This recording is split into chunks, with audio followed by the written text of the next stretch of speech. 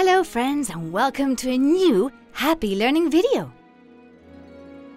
Today, we're going to talk about some animals that existed 65 million years ago. I am sure you have heard about the dinosaurs. And I'm certain you have seen them in many films and cartoons featuring dinosaurs. But not everything that is told in these films is correct. So if you don't mind, let's find out what they are really like and how they lived. The first thing we need to understand is that people and dinosaurs never lived together. The dinosaurs lived before human beings existed, and they roamed the earth for approximately 135 million years. That's a really long time. They were the dominating vertebrates.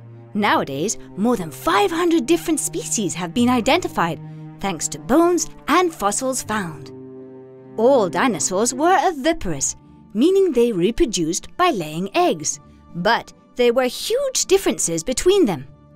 Some were very small, while others were absolutely enormous. So as to learn about them better, we have divided them into two major groups, Ornithischia and Saurischia. What complicated names they have! The Ornithischia, or bird-hipped dinosaurs, were herbivore, which means they only ate plants. The most well-known was the Triceratops. They were impressive, huh? The Saurischia, or lizard-hipped dinosaurs, were the ancestors of the crocodiles and lizards. Among these species, they were carnivores and herbivores, and with them then, the two most famous dinosaurs, the Diplodocus and the Tyrannosaurus. The Diplodocus was the largest dinosaur. In 1907, an entire skeleton was found, measuring 27 meters. Although remains of these specimens have been found exceeding 50 meters.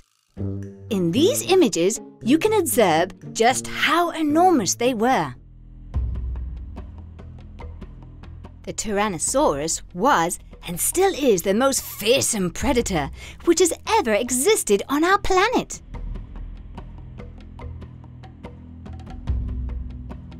It was more than 4 meters high and could be up to 12 meters in length.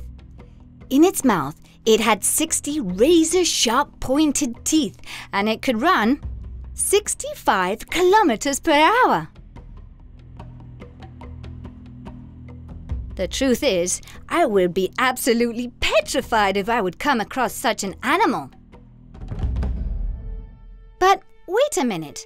How is it possible that such large and powerful animals completely disappeared off the face of the Earth? Currently, the investigators are focusing on two big theories. The first is based on the impact of an asteroid or comet from outer space. The other theory maintains that the cause of the dinosaurs' disappearance was due to a period of enormous volcanic activity.